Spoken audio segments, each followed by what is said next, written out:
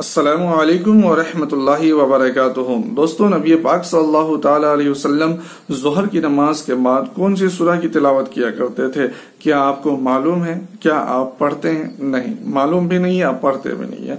तो आज की इस वीडियो में हम आपको बताने जा रहे हैं कि नबी पाक सल्लल्लाहु अलैहि वसल्लम कुरान शरीफ की किस सूरह को पढ़ा करते थे और ये सूरह आपको कुरान शरीफ के किस पारे में मिलेगी सारी जानकारी हम आपको दे रहे हैं। तो वीडियो में बने रहें और वीडियो को शेयर ज़रूर कर दें। अगर चैनल पे नए हैं तो सब्सक्राइब कर लें ताकि इस तरीके की जानकारी आपकी खिदमत में आती रहे। अब सुनिए मुकम्मल जानकारी।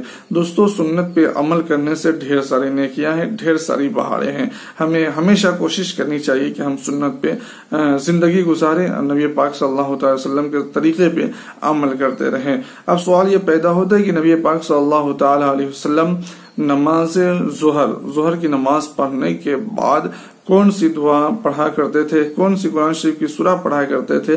तो सुनिए, नबी पाक सल्लल्लाहु वसल्लम जहर की नमाज़ पढ़ने के बाद सूर्य रहमान की तिलावत किया करते थे। अब ये सूर्य रहमान आपको कुरान शरीफ के किस बारे में मिलेगी, जिसे आप भी तिलावत कर सकते हैं? तो सूर्य रहमान आपको कुरान शरीफ के सत्ताईसवें पारे में कितने पारे में? सत्ताईसवें पारे में आसानी के साथ मिल जाएगी, जिसे आप आसानी के साथ पढ़ सकते हैं और सुन्नत पे अमल कर सकते हैं।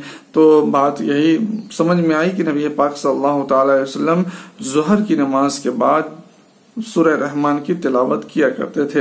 अगर आप ये जानना चाहते हैं कि फजर की नमाज़ के बाद नबी पाक सल्लल्लाहु अलैहि वसल्लम कौन सी दुआ, कौन सी सुरह पढ़ा करते थे तो प्ले स्टोर में आप जाएँ या इसी चैनल पे जाएँ, वीडियो मौजूद है, आप देख लें, अपने इल्म में इजाफा करें, अमल करें और बरकतों से माला माल हो। असलम खुदा हाफिज।